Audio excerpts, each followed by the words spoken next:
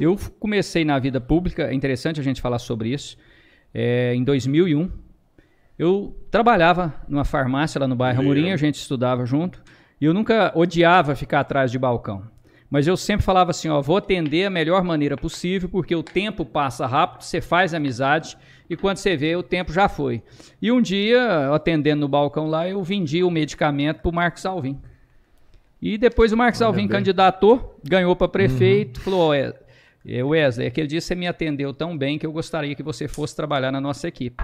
Caraca, ali, você vendeu isso, bem pra caramba mesmo. Eu, eu, atendi a pessoa bem, né? Eu falo Sim. assim, é aquela, aquela máxima, né? A todo momento nós fazemos investimentos positivo ou negativo. Toda, nesse momento agora, as milhares de pessoas que estão nos acompanhando, elas, elas estão nos observando. Consequentemente, você está fazendo investimento positivo ou negativo.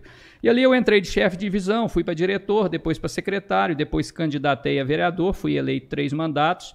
E nesse último ano, encerrando o meu período legislativo enquanto presidente da Câmara, eu falei, ó, não vou mexer mais com política e tal, estava um pouco cansado, né? Já havia formado, advogado, fez é, pós-graduação, mestrado, enfim. Só que aí, de repente, o Renato, né, que nós todos ali do, do bairro Amorim, é, mineiramente também, ele começou a aproximar, né, muito inteligente, e falou: Wesley, gostaria de ser candidato e tal, o que, que você acha? Foi até interessante, né? Que, como ele nunca mexeu com política. Nunca, é. Eu falei assim: ele deve estar querendo candidatar a vereador. E de repente eu puxei a língua dele. Cara. Não, eu quero ser, eu gostaria de ser candidato prefeito. a prefeito e tal, tal. E ali nós fomos movimentando, né? E aí construímos esse processo junto com diversas outras pessoas, com a Maria Cecília, enfim, com todos. E aí eu tive a oportunidade de ser secretário.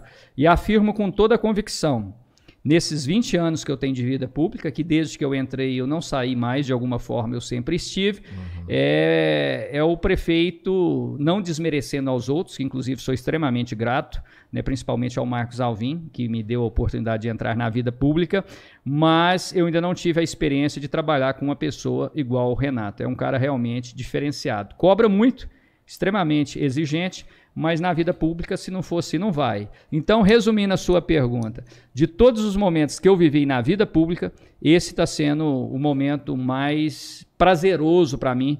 Eu não sei se é porque eu peguei uma secretaria que tinha coisa demais para fazer, então eu gosto de trabalhar. E o prefeito dá autonomia para trabalhar e quer que as coisas aconteçam, está é, tá sendo o melhor momento.